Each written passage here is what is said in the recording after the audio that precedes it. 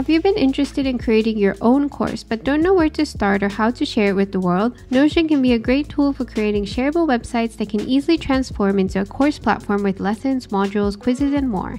In this video, we'll give you a Notion tour and step-by-step -step guide of our digital course platform Notion template. If you found this video useful, be sure to like, subscribe, and turn on the notification bell we first wanted to share with you what your course could look like in Notion. So this is a sample of a graphic design bootcamp course. And at the top here, you'll see different quick links such as about, contact, modules, useful resources, and FAQ. And we can return home. Here we have our welcome message with various modules. If we open up a sample module here, module 1 making a poster with Photoshop, you'll see that it has various details like how long this module is going to take, how many lessons, quizzes, or assignments, and a summary. And then we have a navigation here so that you can easily go to different sections of your module. And we also included some samples for what your quiz could look like. So we have samples where you can add a quiz through Notion, you can also use third-party apps that can also be embedded seamlessly into these modules so that you can either have quizzes or you can also have assignment uploads. We also included a section where you could potentially put your links to your course communities. So this would work great for self-paced courses or a course where you might not necessarily need the student to have a Notion account, and of course, it's also possible to have a more interactive course if the student has a Notion account and they can also interact within the course as well. First, let's go over the initial course setup when you first download this template. So the first thing you'll want to do is add your course title here. And once you do that, you can also change the icon to either your brand icon or any of the options inside of Notion or any emoji you think would fit the course. And then you can also go up here to change the cover photo and then you can either upload your own pictures, you can link to a picture, or you can use Unsplash for a huge stock image library. The next thing you'll want to edit is of course the picture here so that you can add either your own picture or some kind of mood photo that reflects the course. On this side, you can edit the welcome message here so that you can personally welcome your students. And we would recommend you to keep these links so that students are able to go to the About page and then go to the sample course introduction and setup, which we have here, so that they can really get started with the course and know exactly what materials they need and so on. And if you wish, you can also add a image here of your signature. And if you want to replace this, you just go to the three dots here and then go to replace. And underneath here, we also put a course community link. So if you wanted to add your Discord server, you could double click this and then add a link by clicking add link. And then you can link to any web page. If you want to add a new type, you can simply type shift enter and then add your link here. And then you can double click this and then add a link. And this link area gets automatically synced into your about page, which can be very useful. So the next thing we would recommend you to start working on would be adding modules to your course. So in this case, we decided to separate our structure of the course into different modules. So you can add a new module by clicking plus new here. And this is going to load the module template. If you would prefer to call these units, you can also do that as well. So the naming system and the organization is completely up to how you feel like the course should run. So now that we have our module, let's name this module 2. You can add details such as for how long it would take for someone to finish this module. You could add things like how many lessons there are, and so on. So this is really up to you how you want to structure your details. After that, you can also add a summary of what this module contains so that your students know exactly what each module is about. After you fill in the summaries, you'll see here that we have some lessons here that we already included for you in case you want to follow this structure. And basically, you would just put your lesson title in here. You could embed things like YouTube videos or any kind of video content.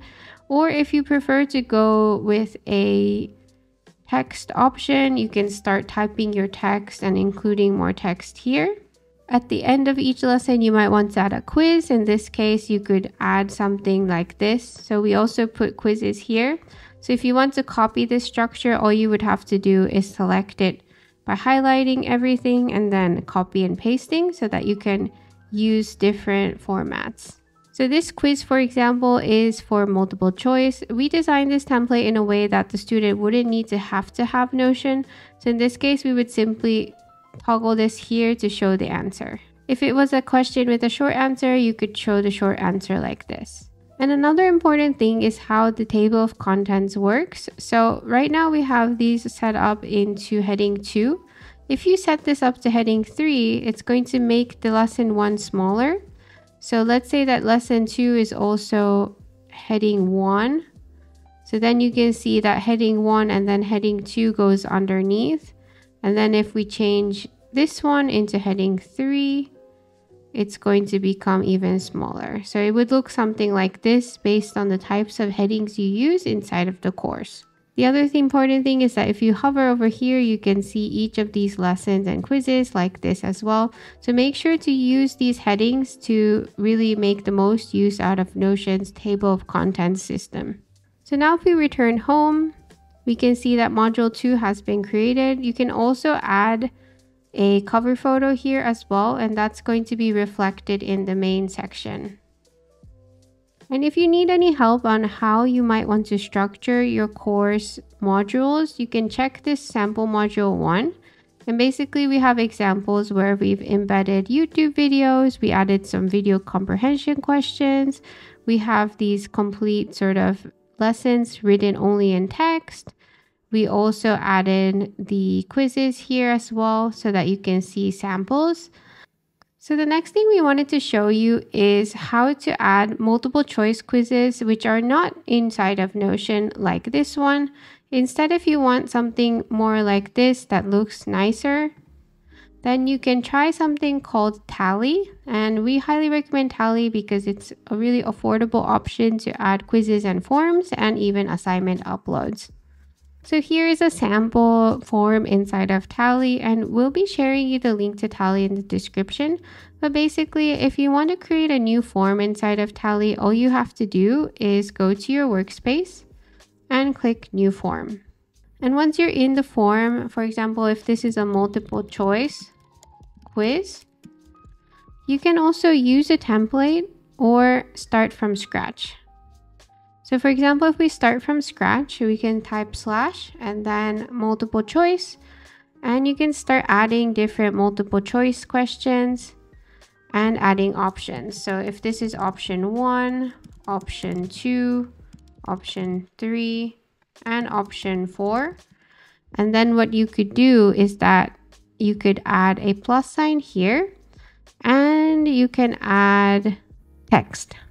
So let's say that if you choose option one, it should show correct. Then what you can do is click the six dots here, hide. So then you could do something like this where you add a conditional logic. And basically if the option is one, it's going to show the correct answer. So if we go ahead and go to preview, we can try this out. But basically it would show like this. So there's a lot you can do with these kinds of form builders. So we won't go into too much detail here, but we would highly recommend you to play around with this and try it out. When you're happy with the form, you just hit publish and then you can copy the link, go back to your Notion, and basically just paste it in like this and then embed. The second option we have for you is from Typeform, and Typeform is a little more expensive than Tally, but it also creates really nice forms that you can use. So here we are in our Typeform. You would click create a new form to make a new one. And then if we go to, for example, sample form here, you can see that this is the one that we embedded. It is a little bit less user friendly in the sense that, for example, to create this kind of form, we had to create this logic here so that we have a question. If it's correct, it goes here, then it goes to the next question and so on. So building these forms could be a little bit more tricky compared to Tally, but we think that this also creates a really nice look to your form, so it's something definitely to consider and to try out. Finally, we wanted to show you a quick assignment upload example. So this is also created inside of Tally. So if you wanted to do something like this, it's also very easy in Tally. Basically, you could put two form fields here and an upload field here so that students can upload their assignments directly into your course.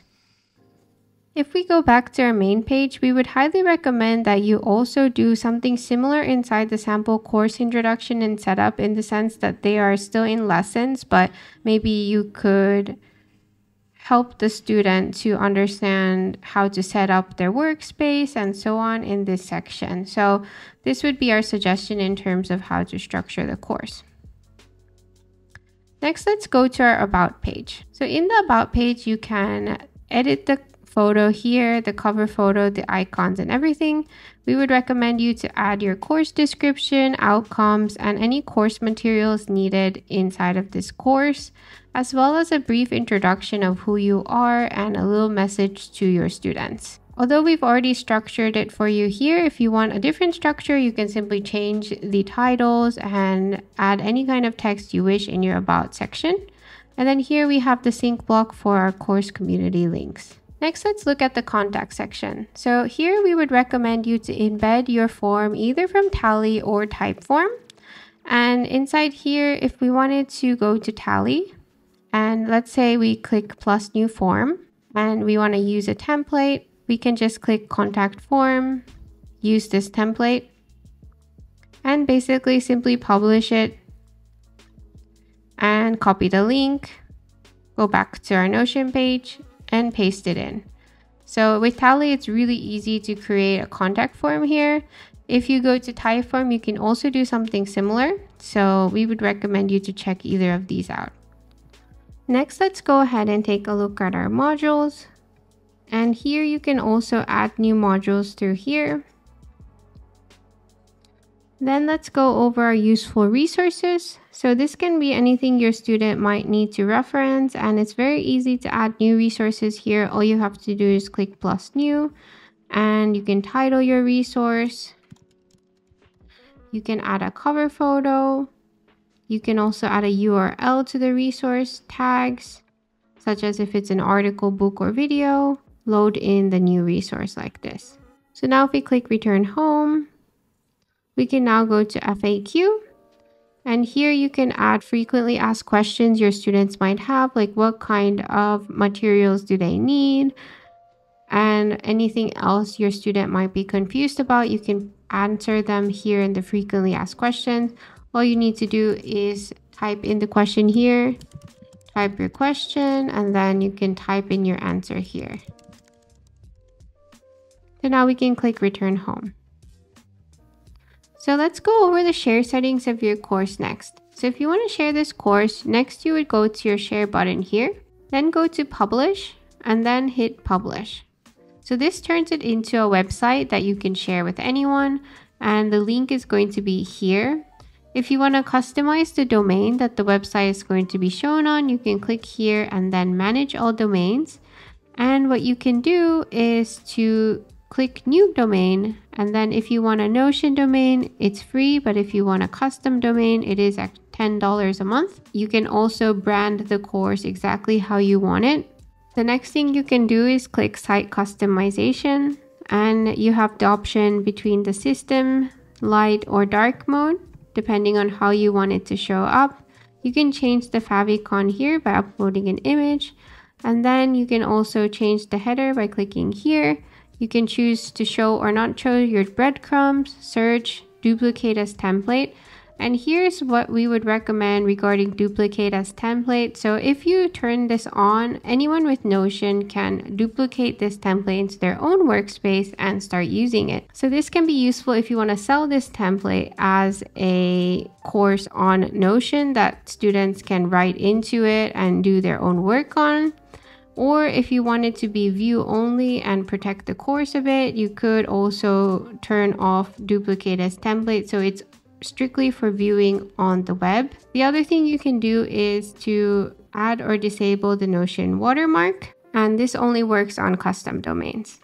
So now here we can add pages. So for example, we would recommend you to add things like the FAQ, the about, the contact,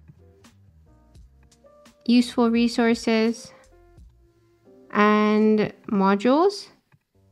And unfortunately, Notion has a maximum of five page shortcuts, so you can only add up to five. You can drag it around to change the order like this, and you can publish changes.